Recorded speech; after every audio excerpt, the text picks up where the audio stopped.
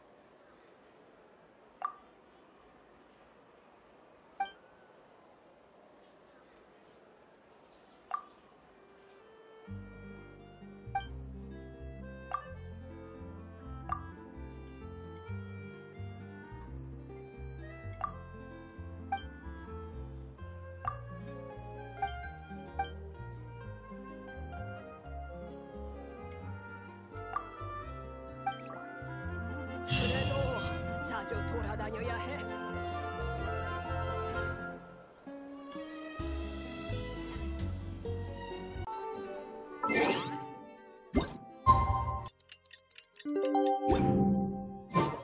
이렇게 멋진 경치를 봤으니 당연히 자유롭게 여행하고 싶지.